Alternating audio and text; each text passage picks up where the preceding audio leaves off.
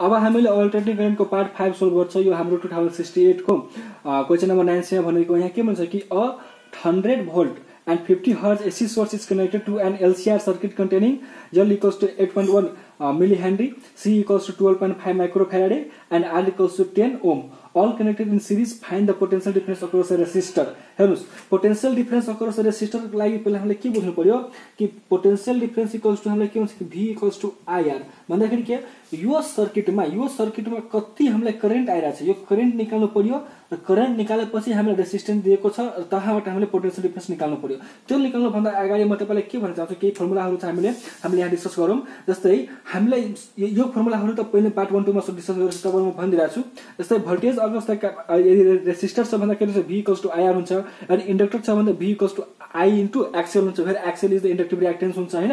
अनि क्यापेसिटर छ भन्दाखेरि VC equals to I into XC फेरि XC is the capacitive inductance अनि एक्सेल भनेको हो? यल ओमेगा अनि एक्सी भनेको हो? ओन बाई ओमेगा सी अनि हेर्नुहोस्। अब यो यो बुझ्नको लागि हामीले के गर्नु पर्यो जस्तै हामीले करेन्टको मैले यहाँ चाहिँ लेखेको छु E equals to Z into I E equals to Z into I भन्दाखेरि के मैले कसरी लेख्ने ई इक्वल्स टु जी यो जी भनेको के हो? जेड आई के? E equals to G E equals to G एकचोटि चाहिँ भन्नुहोस् तपाईँ पनि आफ्नो मनमा सम्राज गर्नुहोस् के ई इक्वल्स टु जी जी भन्दाखेरि के हो? जेड आई अनि हामीले यहाँबाट आई निकाल्यो भन्दा के हुन्छ? I equals to E by Z फेरि Z is the impedance of the circuit अब हेर्नुहोस् इम्पिडेन्स निकाल्नको लागि मैले सिम्पल सम्झिने फर्मुला तपाईँले याद पनि राख्नु पर्दैन सिम्पल के गर्ने त रुट हाल्ने यो जेडको स्तरमा के गर्ने रुट हाल्ने यो रेसिस्टर के छ एउटा हिरो छ। यो भन्छ होइन म एक्लै बस्छु। म कसैसँग कम्बाइन गरिदिनु म कसैसँग ग्रुपमा बस्दिनँ त्यसले के गर्ने त्यो यसलाई के गर्ने? आरको हल स्क्वायर राखिदिने। प्लस यो दुवैले के भने कि ल अब हामी दुवैले कम्बाइन गरौँ दुवैजना मिलिजुली खाऊँ भन्दाखेरि अनि यसले के गर्यो? कम्बाइन गर्यो। भन्दाखेरि के? हामीले दु दुइटाबाट कुनैलाई अगाडि लेखेको कुनै फरक पर्दैन किनकि यो स्क्वायरमा गएपछि क्यान्सल हुन्छ। सरी स्क्वायरमा गएपछि प्लसमा जान्छ। अनि हामीले जेनरली के हुन्छ कि एक्सेल भन्दाखेरि के? इन्डक्टिभ रियाक्टेन्सलाई अगाडि लेख्न चलन छ भन्दाखेरि एक्सेल अगाडि लेख्ने अनि एक्सी भन्दाखेरि पछाडि लेख्ने अनि हल स्क्वायर गरिदिने। मैले एकचोटि अझै भनिरहेको छु अलिक फनी हामीले करेन्ट निकाल्नु पऱ्यो भन्दा के लेख्ने? I equals to V have equals to के लेख्ने? जेड आई अनि यहाँबाट आई निकाल्ने I equals to E by Z भयो। I equals to by Z भयो। अब कुनै पनि सर्किटको कुनै पनि सर्किटको हामीले यदि इम्पिडेन्स निकाल्नु छ भन्दाखेरि के? इम्पिडेन्स सधैँ के हुन्छ? रुट अन्डरमा हुन्छ र त्यसको जति रियाक्टेन्स या रेसिस्टेन्स हुन्छ नि त्यो स्क्वायरमा हुन्छ। भन्दाखेरि के हेर्नुहोस् जेड जस्तो मैले के लेखेँ? एउटा रुट लेखेँ एउटा रुट लेखेँ र कुनै पनि सर्किटमा कुनै पनि सर्किटमा रेसिस्टर कसैसँग कम्बाइन गर्दैन। भन्दाखेरि के? रेसिस्टरले के हुन्छ कि म एक्लै बस्छु। भन्दाखेरि के? यो एक्लै भएर स्क्वायर भएर बस्छ प्लस र यहाँ हामीले के छ कि एलसिआर सर्किट छ। भन्दाखेरि के? हामीले यसमा यल र सीले कम्बाइन गर्छ। भन्छ ल हामी दुवैजना सँगै बसौँ। अनि त्यसले के गर्छ कि हामीलाई चलन छ कि? जुन ठुलो हुन्छ नि जुन ठुलो हुन्छ त्यो अगाडि लेख्ने चलन छ। भन्दाखेरि के? अब यो क्वेसनमा हेरौँ हामीलाई inductance equals to one point one milli henry छ। भन्दाखेरि के? वान पोइन्ट वान इन्टु टेनको माइनस थ्री ह्यान्ड्री भयो अनि यहाँ capacitance equals to two point five into minus six farad छ।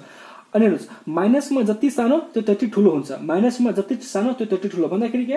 हामीलाई एक्सियल हामीलाई एक्सियलको भ्यालु कति छ? यो कति?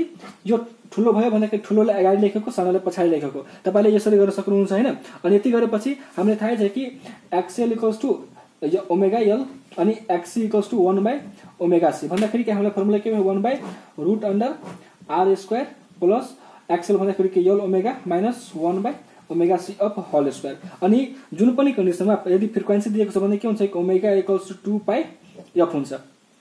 यति भयो। अनि हामीले यो पनि लेख्नु पाएँ equals to root under R square plus L two pi F minus one by two by F C of whole square यति नै गरेको छु मैले यहाँ यति नै मैले यो क्वेसनमा पनि यति नै गरेको छु। मैले तपाईँले यहाँ राखिदिएको छु। अनि हेर्नुहोस् मैले सबैको भ्यालु हाल्दै गएँ अनि क्यालकुलेटर हान्दाखेरि कति आयो? Zero point three nine ampere यो करेन्ट के हो? यो करेन्ट के हो कि होल सर्किटमा यो करेन्ट के हो? यो सर्किटको करेन्ट हो। यो पुरा होल सर्किटको करेन्ट हो। यो सर्किटमा यति करेन्ट फ्लो भइरहेछ।